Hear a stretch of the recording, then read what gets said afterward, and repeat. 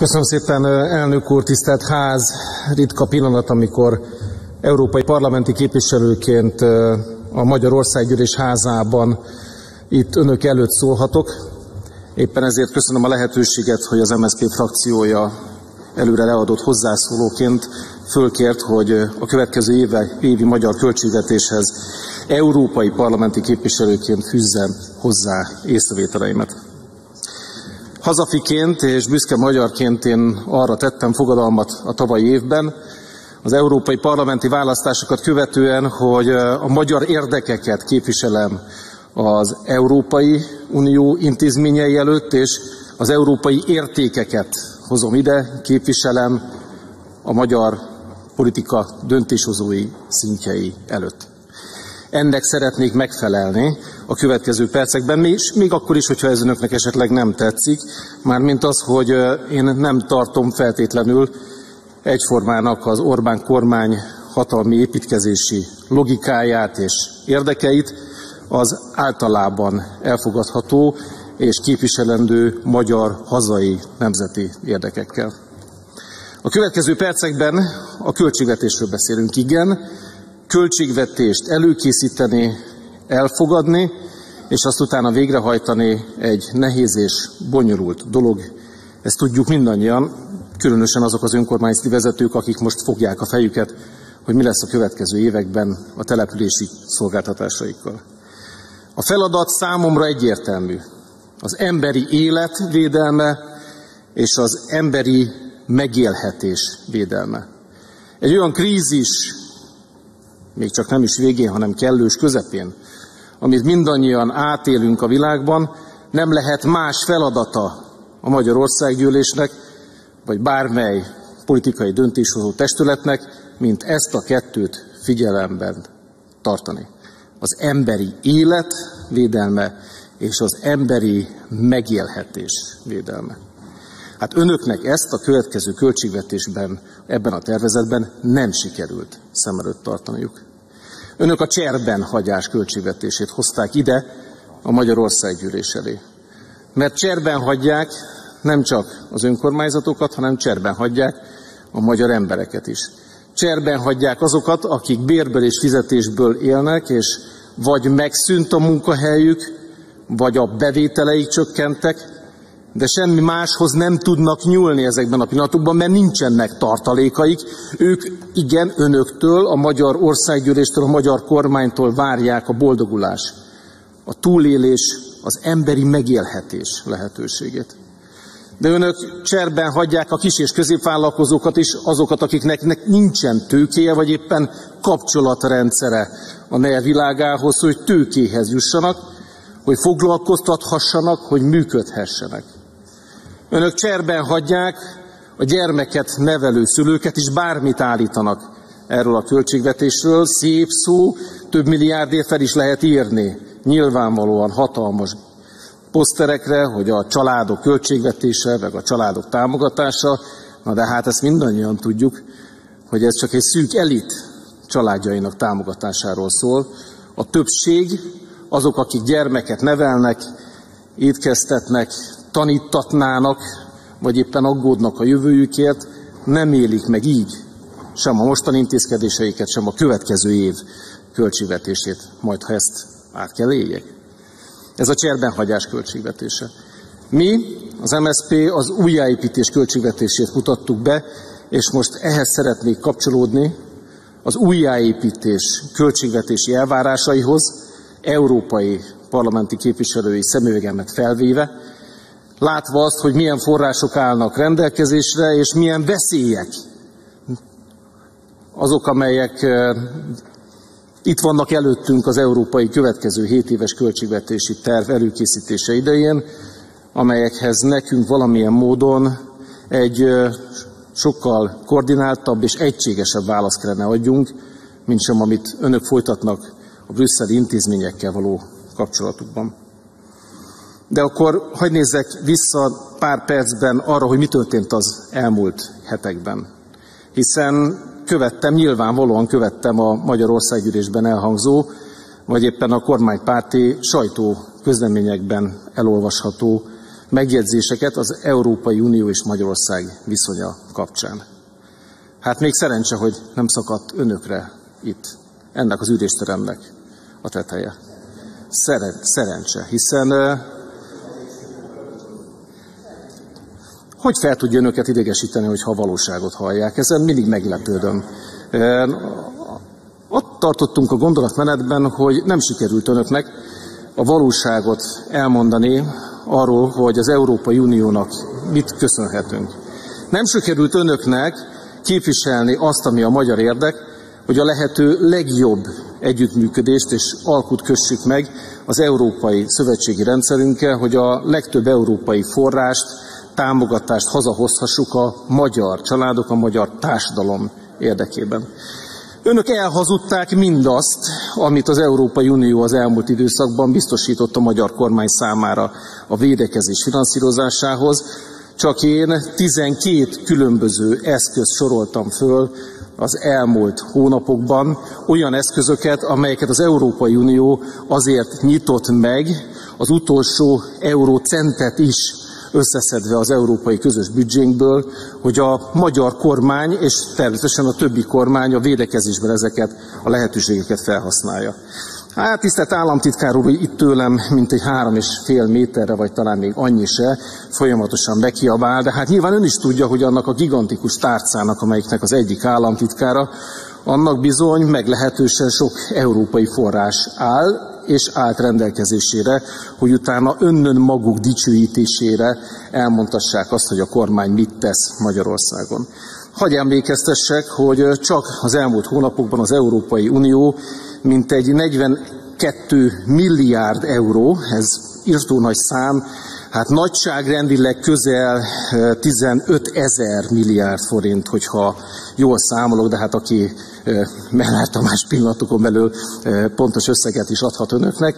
15 ezer milliárd forintos nagyságrendben nyitott gyors csapokat és lehetőségeket arra, hogy a magyar és a többi kormányzat felhasználhassa az Európai Uniós forrásokat. És nem, ezek még nem a visszatérítendő európai források, ezek olyan programok, amelyeket a különböző alapokból azért nyitottak, hogy önök ezt felhasználhassák, hogy mi magyarok is túléljük ezt a válságot. És akkor államtitkár úr nyilván meg tud erősíteni, hogy emellett ott van az az 540 milliárd eurós, hát ezt végképp nem merem megszorozni 350, 360, 370, 380-nal, vagy éppen hol tart az euró-forint árfolyam. Óriási összeg, 540 milliárd euró, ami viszont sokkal kedvező feltételekkel igénybe vehető Európai Unió uniós közös hitel lehetősége, mint ahogy önöknek egyébként akár az oroszoktól felvett paksi hitel, vagy a Kínától felvett vasúti hitel, vagy éppen a most büszkén az elmúlt hetekben bejelentett devizában, euróban megtörtént kötvény kibocsátása, amilyen rendelkezésére állt Magyarországnak. Olcsóbban, könnyebben, jobban bocsájtott számunkra az Európai Unió gyors pénzt, támogatást a megélhetésünkhöz.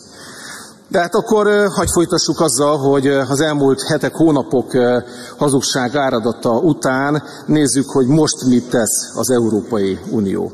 Az Európai Unió az elmúlt napokban mutatta be azt a nagyszabású újjáépítési tervet, különösen örültem annak, hogy ez rímel az MSZP költségvetési javaslat tervének nevére, nevéhez, azt az újjáépítési tervet, amely szemben a magyar kormány cserben hagyásos költségvetésével azt szolgálja, hogy a következő három év alatt milyen és mekkora forrásokat ad a magyar kormánynak, így más kormányoknak is, a magyar gazdálkodónak, más nemzet gazdálkodóinak is arra, hogy újjá építsük az Európai Uniót. Ez egy olyan nagyságrendű, mint egy 750 milliárdos euróban program, amiből Magyarország, és akkor itt most átváltok forintra, 2800 milliárd forint vissza nem térítendő támogatást kap, 2800 milliárd forintnyit, és ezen kívül szinte ingyen 2400 milliárd forintnyi visszatérítendő kölcsönt, amit vagy akarunk, vagy nem akarunk, ezt majd mi eldöntjük, hogy fölvesszük-e, de jobb feltételekkel biztosít számunkra, mint amit egyébként bármilyen más módon a piacokról a kormány meg tud szerezni. Ez csupán semmi más, csak a következő egy-két évben az európai újjáépítés lehetősége, és minden magyar állampolgárnak jusson az eszébe, akkor, amikor egyébként azt látja büszkén egy-egy minisztertől bejelenteni, hogy egyébként mekkora gazdaságvédelmi programokat indítottak, micsoda szociális támogatásokat finanszíroztak, hogy ezeket nagy részt az Európai Unió adja nekünk.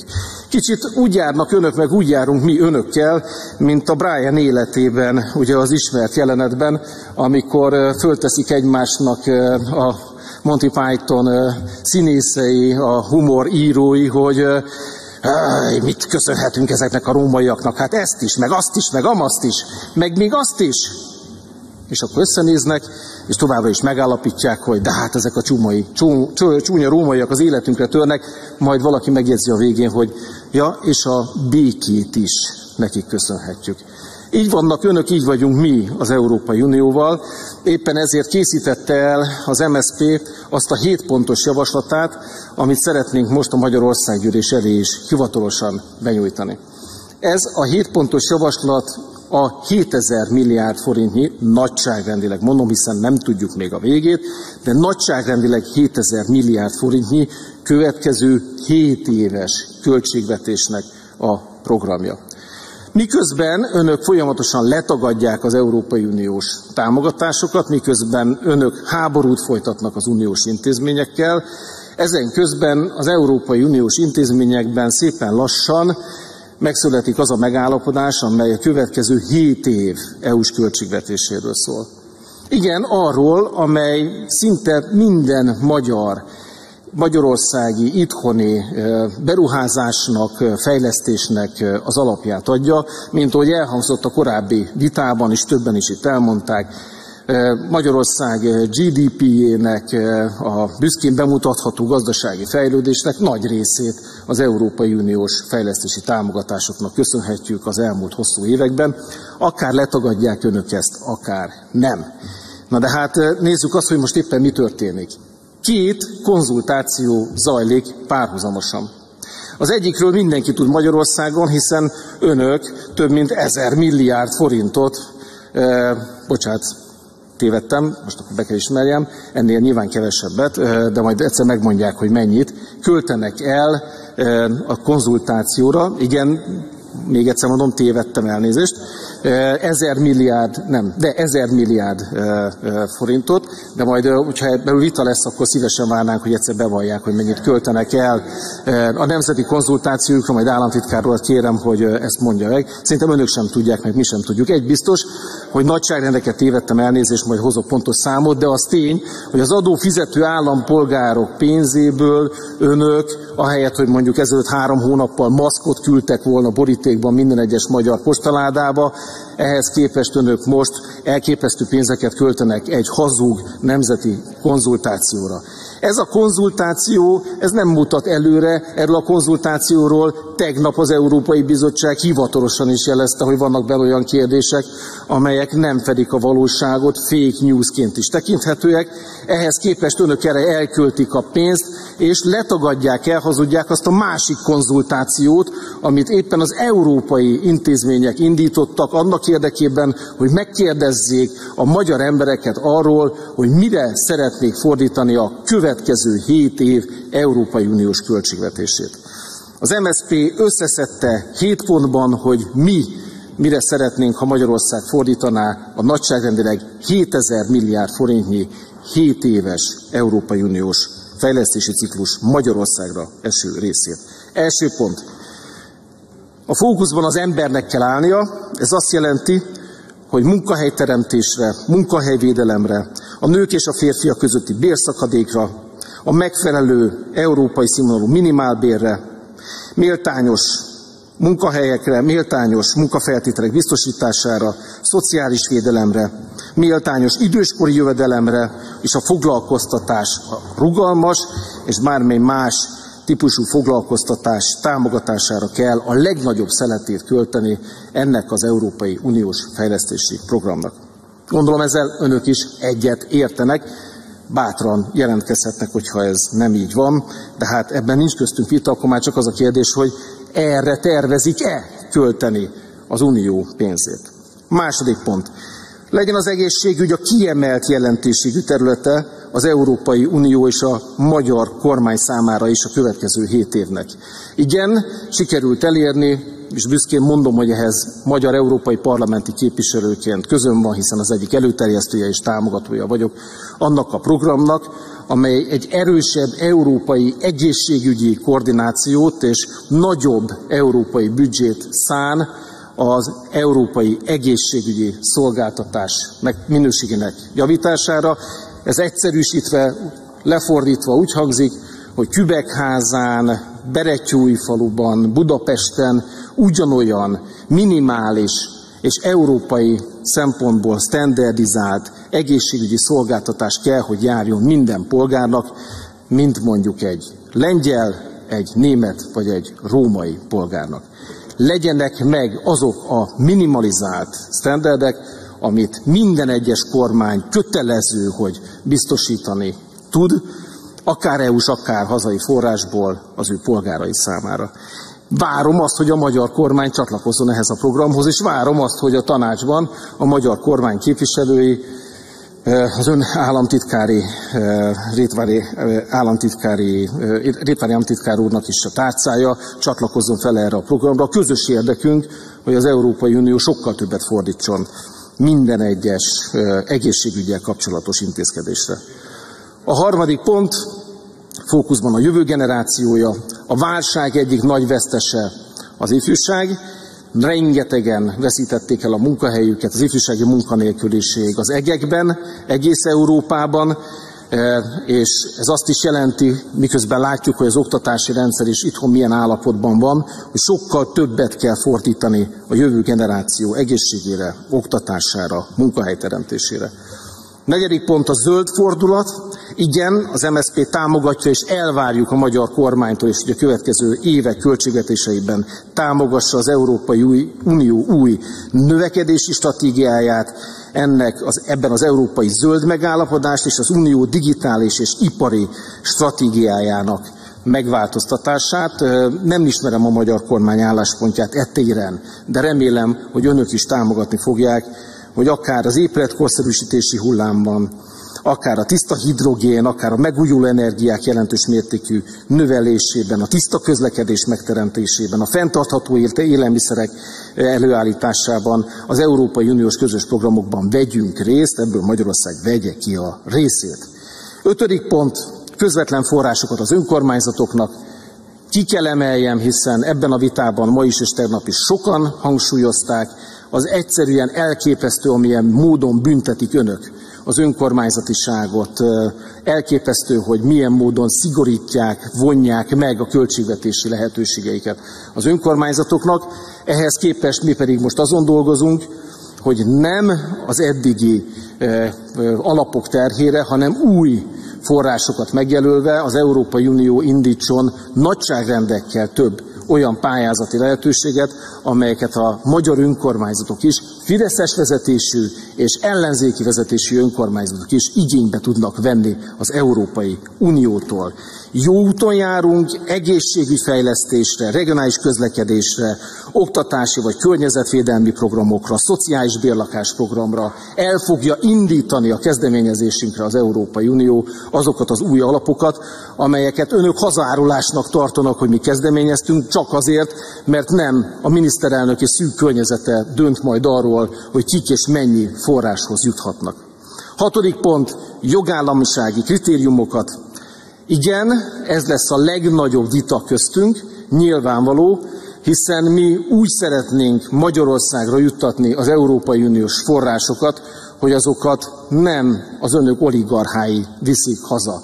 Mi azt szeretnénk, hogy minden egyes magyar vállalkozás egy pék az új pékségének megalapításához, egy oktatási vállalkozás a maga digitális hátterének megteremtéséhez, de egy ipari parki beruházás Szegeden vagy bármely más városban is ne károsodjon azért, mert az Orbán kormány hadilában áll a jogállamisággal, a demokráciával, a pénzek felhasználásával.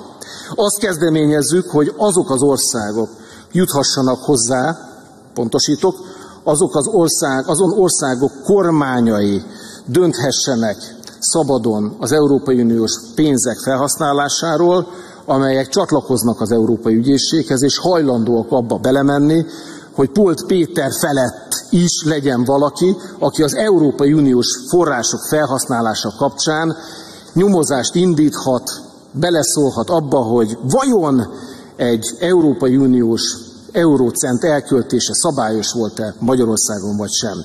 De itt jön a mondat második fele, azt kezdeményeztem én magam a tavalyi Európai Parlamenti vitában, hogy olyan megoldás szülessen, hogy az a kormányzat, amelyik egyébként nem tartja be a szabályokat, az a kormányzat ugyan bűnhődjön, de a lakosság, a választók, az önkormányzatok, a vállalkozások, a civil szervezetek, a kedvezményezettek hozzájuthassanak a forrásaikhoz.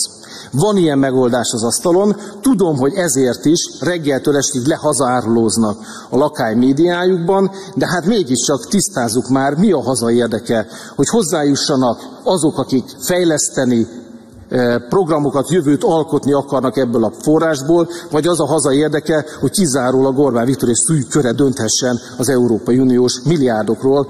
Én azt hiszem, hogy az első.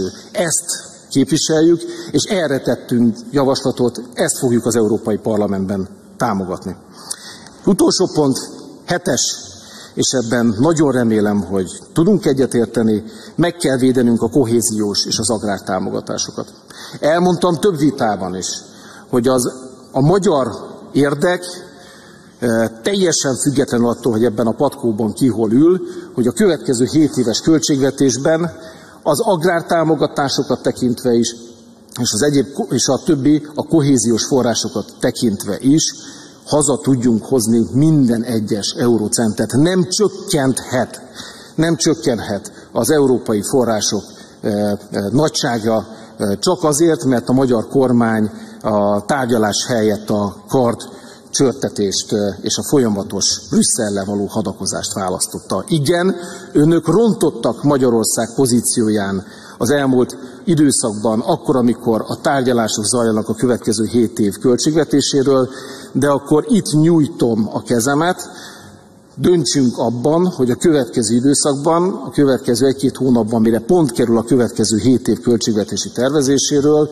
legyen egy közös stratégiánk arra, hogy végre nem hátba szóljuk az európai szövetségeseinket, hanem leülünk velük egy asztalhoz, és megegyezünk a magyar érdekek érdekében.